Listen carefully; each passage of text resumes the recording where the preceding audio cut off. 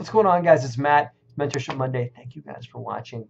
I appreciate you. I would really appreciate you guys if you could take a minute, subscribe to the channel, and also subscribe to our newsletter. There's a button around here on the YouTube thing somewhere where you can subscribe and be a part of our newsletter. We blast out some really cool stuff that we're up to about once a month, give or take. We don't blast we don't you know hammer you too hard, but just interesting DeRosa Group projects and all that. So just be, make sure you subscribe to the newsletter as well.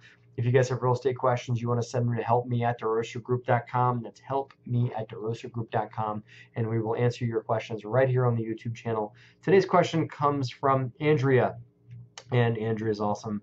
She's uh, connected with us on LinkedIn and she subscribes to the newsletter and she's a just awesome DeRosa Group uh, uh, follower here. Thank you, Andrea.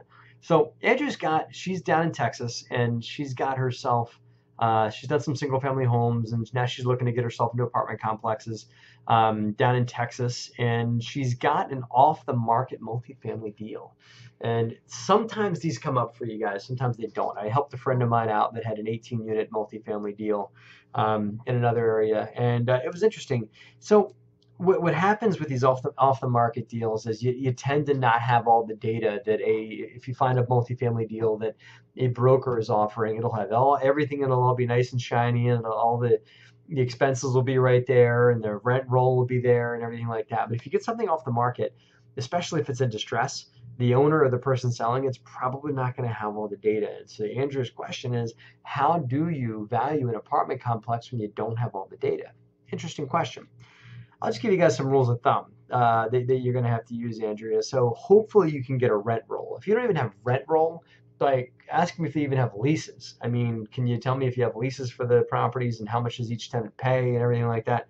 So if you can't estimate what the rent rental income for the property is, you want to take that, put it over here as, as the rental income. Then things are in public record, like how much the real estate taxes are, um, if you know the market well enough, you should be able to estimate how much people are paying per unit for things like water.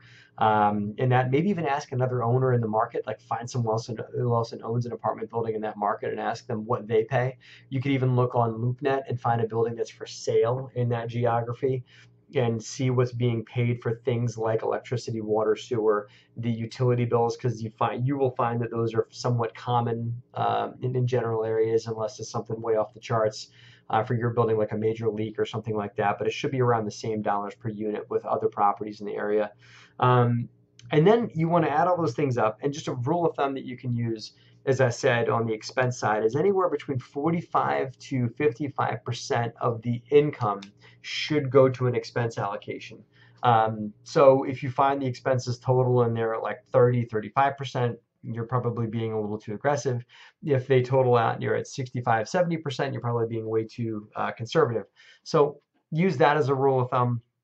Um, on, uh, on on making your cash flow projections, but take that rental income number, extrapolate through the market and through using that rule of thumb of you know 45 to 55 percent of expenses to figure what your net operating income is going to be and then you can make them an offer based on that you know you should know how to take that net operating income and use the market cap rate or what a cap rate you'd like to buy it at and convert that to an offer price so again lots of rules of thumb and, and guesses in there, and you really need to walk the site. Once you walk the site, you'll be able to allocate for things like maintenance and deferred deferred maintenance they haven't done that you'll have to budget to do with additional cash that you'll have to put into the deal up front. Um, or uh, or just regular maintenance to maintain the property that it'll take to keep it going and running. Um, and things like utilities, look to see who's paying for what as well. I gave you an estimate on utilities already for water and sewer, but who's paying for the heat? in Texas, you might not have too much for heat, um, but uh, you might have other uh, common things uh, that are that are common to the building. So, um, you know, one more thing that'll sneak attack you that you might not think of, but if there's lots of common hallways inside, well, how are you heating and cooling that common area, and who's cleaning it? Because you'll have to have a cleaning crew clean and maintain that common area.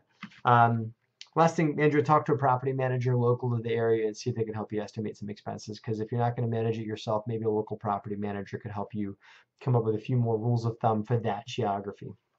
So good luck on your deal. It sounds exciting. Um, hope you guys learned a little bit from Andrea's question too. Uh, and um, hope good luck for the off the market multis that you guys come up with. Off the market multis are kind of hard to come by these days. A lot of multis are listed um, publicly on on the uh, on the local MLSs or on the uh, on the internet one way or the other. So if you get something off the market, uh, it could be a good one. So um, email your questions to help me at derosagroup.com. Don't forget to like, subscribe, and share all of our stuff. I appreciate you guys as always. Thank you for watching and have a great and profitable week.